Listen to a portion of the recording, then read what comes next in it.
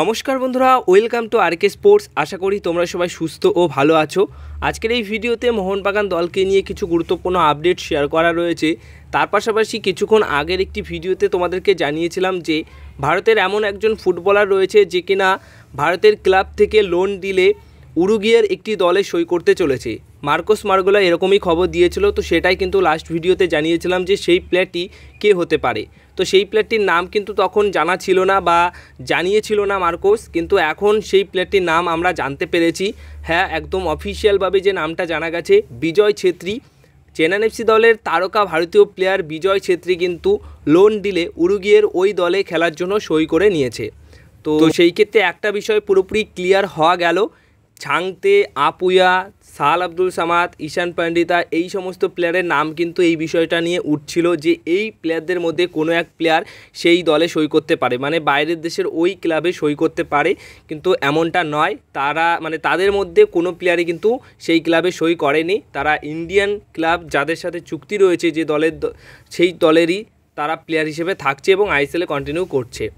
এবার যে বিষয়টা শেয়ার করা রয়েছে সেটা হচ্ছে মোহনবাগান দলের তারকা স্ট্রাইকার আরমান্দো সাদিকিউকে নিয়ে। দেখো, মোহনবাগান দলের ছয়জন বিদেশি প্লেয়ারের মধ্যে পাঁচজন বিদেশি প্লেয়ার কিন্তু কোচ হাবাসের তত্ত্বাবধানে এখন কিন্তু পুরো দমে অনুশীলন করছে যেহেতু হাতে গোনে আর মাত্র তিন দিন সময় রয়েছে চেন্নাইন এফসি ম্যাচের আগে, তাই পুরো দমেই অনুশীলন করছে। বাট আরমান্দো সাদিকিউ কিন্তু এখনও অবধি অনুশীলনে জয়েন করেনি, যেটুকু খবর পেলাম। তার একটাই কারণ, কিছুদিন আগেই তিনি পুত্র সন্তানের বাবা হয়েছেন, তাই তিনি তার ওয়াইফের সাথে রয়েছে। আর হয়তো এখন তার ওয়াইফের তার বিশেষভাবে প্রয়োজন রয়েছে। তো খুব তাড়াতাড়ি তিনি কিন্তু আবার কলকাতায় চলে এসে আবার প্র্যাকটিসে কিন্তু জয়েন করে ফেলবে। এছাড়া এর পাশাপাশি যে খবরটা শেয়ার করা রয়েছে, সেটা হচ্ছে সদ্য ইন্ডিয়া টিমের দুটো বড় ইন্টারন্যাশনাল ম্যাচ হলো আফগানিস্তানের বিরুদ্ধে। তো আফগানিস্তানের বিরুদ্ধে টিম ইন্ডিয়ার হয়ে যে স্কোয়াড ছিল, সেই স্কোয়াডে কিন্তু মোহনবাগান দলের মোটামুটি সাত থেকে আটজন ফুটবলারের নাম ছিল। সেই আটজন ফুটবলারদের মধ্যে সবাই মোটামুটি আগামীকালের প্র্যাকটিসে কিন্তু যোগদান করবে। হ্যাঁ আগামীকাল থেকে আবার কিন্তু প্র্যাকটিস শুরু করে দেবে মোহনবাগান দলের হয়ে। কারণ হাতে গোনে আর তিন দিন সময় রয়েছে চেন্নাইন এফসি ম্যাচের আগে। তাই সেই ম্যাচের আগে যে সমস্ত পরিকল্পনা থাকছে তাদেরকে নিয়ে, সেই পরিকল্পনা অনুযায়ী কিন্তু পুরোদমে অনুশীলন শুরু করে দেবে। মোটামুটি আগামীকাল থেকে প্র্যাকটিসে তারা আবার কিন্তু জয়েন করছে।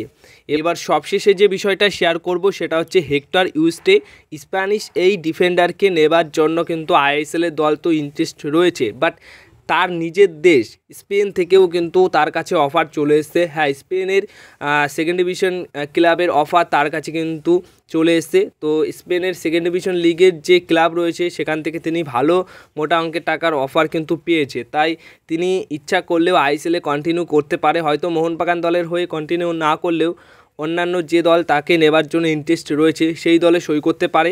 আবার এমনও হতে পারে যে, যেহেতু তার নিজের দেশ থেকে নিজের দেশের সেকেন্ড ডিভিশন লিগের ক্লাবের অফার তার কাছে রয়েছে, তো সেটাও চুজ করতে পারে। সেই অফারেও কিন্তু অ্যাকসেপ্ট করে তিনি আবার তার দেশে ফিরে গিয়ে সেখানে খেলতে পারে।